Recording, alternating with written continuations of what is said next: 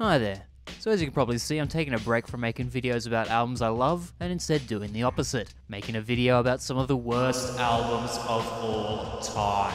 I'm not just talking about albums that aren't my personal cup of tea, nor am I talking about really divisive albums by popular bands like Nickelback or Imagine Dragons. As much as I'd like to tear into an Imagine Dragons album, because I haven't heard one of their albums before, but I bet they're proper shit. No, I'm talking about albums that are almost unanimously agreed to be some of the most awful, bloated, or just horribly executed albums the world has ever seen. And some of these alleged albums are contained on a Wikipedia page called List of Music Considered the Worst. There are 14 albums listed on this page that are singled as some of the worst, or even the worst, by various publications and people. And I intend on going through all 14 of these albums listed and giving you a rundown on each, profiling the artists, or maybe I should say artists in some cases, describing what makes these albums so universally hated, and lastly, whether I think the album really deserves the overwhelming hate it's gotten. I figure the answer will be yes for all of these albums, but honestly, who knows? There could be some surprises. So the Wikipedia page lists the albums in chronological order, and I do plan to do this series in that order. But the first album listed is the 1969 album Philosophy of the World by the Shags, and I feel like starting with that would be too predictable, I guess. Not only is it possibly the most famous album on the list, but it also has a surprisingly mixed reception. So I want to save that one for later and show everyone the lesser known albums, open everyone's minds to a whole new world of shitty music. So I'm going to start with the next album on the list from 1970 called Lord Sutch and Heavy Friends by Screaming Lord Sutch.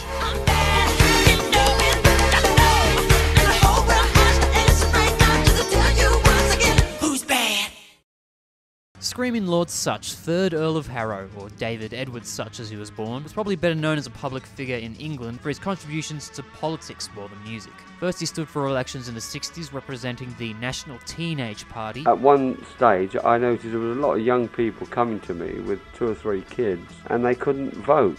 So I thought this was rather strange. They couldn't vote until they're 21, although they could have a grown up family. Then in the 1980s, he founded the official Monster Raving Loony Party, which is one of those political parties that pretty much only exists for one reason because it can. No, there haven't been any official Monster Raving Loony Party members that have been elected to office. In fact, the party's current leader, Howling Laud Hope, who was elected as co leader of the party alongside his cat, Catmando, in 1999, although the cat died three years later, came last in a 2001 election behind a man who claims to be the reincarnation of King Arthur. Meanwhile, Sutch himself still holds a record after running in more than 40 elections, and of course losing every single one. Although in one election in 1990, he did manage to beat the candidate from the Social Democratic Party. Unsurprisingly, that party dissolved just days after this loss. But Lord Sutch did first taste fame as a singer. Maybe infamy is the more accurate word, but I think all press was good press for him as far as he was concerned. His stage name was inspired by 50s performer Screamin' Jay Hawkins, whose flamboyant wardrobe and unusual stage props are seen as one of the first examples of a musical style known as shock rock. This is also the style that Lord Sutch's music could largely be summed up as, or more accurately, horror rock. His band was Screaming Lord Sutch and the Savages, who played garage rock and roll with blues influences, while Sutch, and sometimes the rest of the band as well, wore strange costumes and performed unique antics like emerging out of a coffin on stage. A few times they even dressed as Roman soldiers and performed under the name Lord Caesar Sutch and the Roman Empire. The band's best known song was Jack the Ripper, a cover of a song written and performed by Clarence Stacey and others in 1961. It's punctuated by screaming, I mean, it's in the guy's name after all, but overall it's just goofy 60s rock and roll that nowadays is about as scary as the bloody Monster Mash. A quick listen to some other songs by the Savages suggests to me that this was what all their songs were like, and one of them even has verses that are stylistically similar to the Monster Mash. Well, it was hot last night at the movie show. I parked my baby in the very last row. Though some songs encapsulate the horror vibe a bit better, particularly the atmospheric intro of Till the Following Night.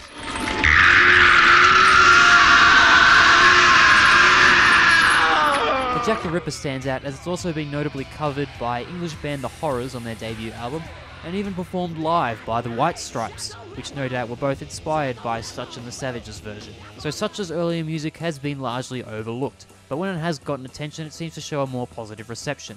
So what went wrong with Lord Sutch and Heavy Friends? The craziest thing to me about the infamy surrounding this album is that Lord Sutch performed with some pretty big names, even before the star-studded Heavy Friends album. One of the band's earliest members was a young Nicky Hopkins, who would go on to be a respected session pianist, playing with many bands including the Rolling Stones, The Who, and The Kinks. A young Ritchie Blackmore, later of Deep Purple, also played with the Savages quite a few times, and while the band's long-standing drummer Carlo Little didn't become a massive name, his powerful hitting of the drums clearly inspired 16-year-old Keith Moon, who convinced Carlo to give him some drum lessons.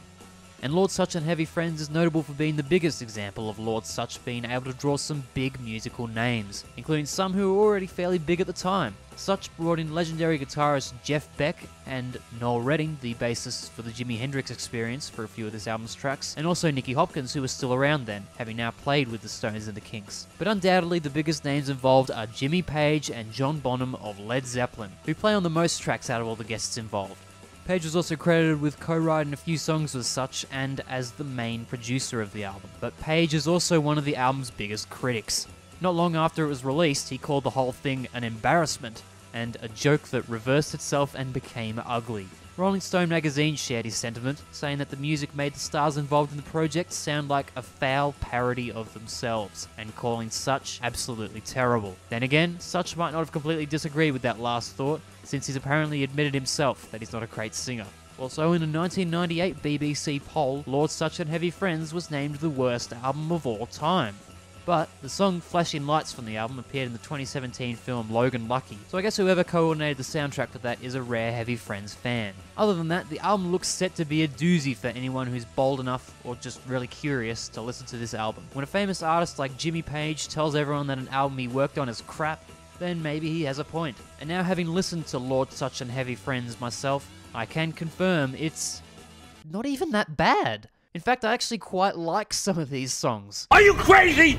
Are you out of your mind? Well, sure didn't think I'd already be defending an album in the first episode of this series, but yep, that's what I'm doing. Does Lord Sutch and Heavy Friends have its flaws? Of course it does. But worst album ever? Out of all the shitty records people could have chosen from, this is the one that most people singled out. Just don't really get it. Of course, the most notable flaw is Lord Sutch's vocals. He knew that he wasn't a great singer, and yeah, he wasn't wrong there. But there have been plenty of successful bands and musicians with voices that are almost objectively awful, especially when you're looking at punk bands. Hell, Mick Jagger ain't no vocal virtuoso, yet he's driven one of the world's biggest bands for nearly 60 years with his voice. Lord Sutch's singing doesn't exactly stick out for me as an obviously terrible vocalist. Based on the album's status, I was expecting some tone deaf wailing, or vocals that are just Chad Kroeger levels of grating in some other way. But to me, that's far from the case. Besides, his style of performing kind of cancels out his vocal flaws, or at least tries to. He was raw, loose, and very much theatrical, and his singing reflected this as well. But the key thing is that he was clearly having fun, which can often go a long way when your vocals are generally pretty limited. So, like I said, Lord Sutch basically is a terrible vocalist, but personally I reckon he still managed to make it work most of the time. The other main flaws of Lord Sutch and Heavy Friends are a little harder to defend. The production certainly isn't amazing. The legend is that many of the musicians involved assumed that these were just demo recordings, which would certainly explain that. The other criticism is one that generally applies to Lord Sutch's musical career as a whole, I believe, and that's the lack of originality songs. I mean, keep in mind Jack the Ripper and that song that sounds like the Monster Mash.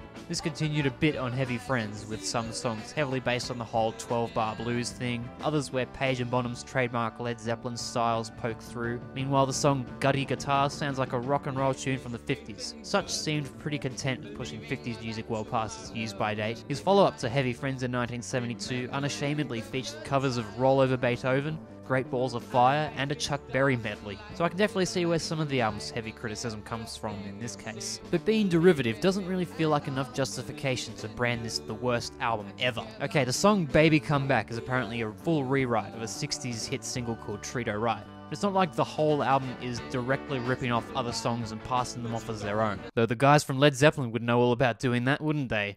Hmm. Cliche songwriting would definitely make a bad album sound even worse, but these guys, or Lord Sutch at least, sound like they were having tons of fun, so I guess the derived songwriting is much less of a focal point to me. But I'm also no expert or even fan of 50s and early 60s rock music. Also, there are probably Led Zepp fans that listen to this because of the Page and Bonham connection and would have been disappointed. But luckily for me, I couldn't give two shits about Led Zepp, so that sure doesn't bother me. The musicianship, looking past Lord Sutch of course, is the real saving grace of Lord Sutch and Heavy Friends. There's certainly a lot of fun had with the guitars, with plenty of soloing and some mixing up with guitar tones, including some nice wah pedal stuff from Page. Interestingly, Page took credit for the wah wah parts, but he made it very clear that he did not play any of the guitar solos on the album, and he even seemed a bit pissed that it was it was even insinuated that he might have played these solos. I don't know why, because there isn't a single moment on this album where the guitars make me think, wow, this is some fucking awful playing. Far from it, in fact. The way that Page was carrying on made me expect to hear some Fred Durst tier solos.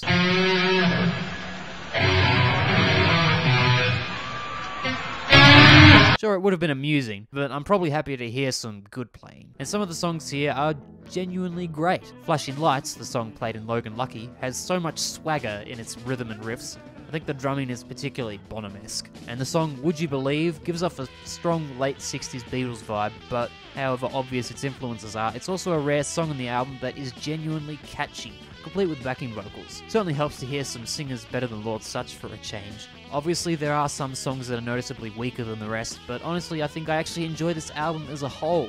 So if you think this is the worst album ever, then I doubt you've heard many albums at all. I can certainly write off the Rolling Stone review at least. I mean, who takes them seriously anymore? They probably weren't all that serious to begin with. I never thought I'd say this about anyone really, but frankly, I really respect what Screaming Lord Sutch was doing, including the political stuff. The guy just rolled along doing what he wanted to do and pushing some boundaries along the way, though he certainly wasn't breaking any laws that I know of. As far as I can tell, he was a decent guy in general, so his notoriety probably comes mostly from being misunderstood by people who weren't ready for his crazy antics on and off stage. And I'm not forgetting that he wasn't a great singer, but he sure as hell was pretty far from being the worst singer-songwriter ever. I mean, if Philosophy of the World by the Shags can get some praise from actual professional musicians, then people definitely need to back off a bit from Lord Sutch. Thankfully, for his sake, the reception of Lord Sutch and Heavy Friends didn't dull his enthusiasm for performing, though it probably was the last he ever saw of Jimmy Page. He still managed to draw in some notable names for his 1972 follow-up album Hands of Jack the Ripper, bringing Noel Redding and Ritchie Blackmore back to the fray, the latter having already started to establish himself with Deep Purple, and Keith Moon also got his chance to play alongside his idol Carlo Little. Sutch would continue to perform with a rotating lineup of savages until his death in 1998, which tragically contrasted his wild and upbeat public nature. He committed suicide by hanging, aged 58, having suffered from manic depression for much of his life. And I think that's all I have to say about Lord Sutch and his heavy friends. So I went in expecting some absolute trash performed by a babbling loon, and instead came out pleasantly surprised with the music and supporting the guy in what he did. I'll probably give each of the albums I look at in this series a rating out of 10, 0 being, this album's actually good, fuck you,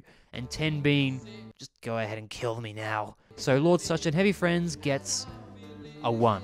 So that'll probably be the highest rating I give in this series, though I wouldn't mind discovering that more of these albums aren't actually that bad, since it means I'll be listening to less shit music. So thanks for watching, leave a like and subscribe if you look forward to more of this possible series, and of course do share my videos around if you really enjoy, because the more attention this channel gets, then the more motivated I'll be to make videos for it. Take care everyone, goodbye.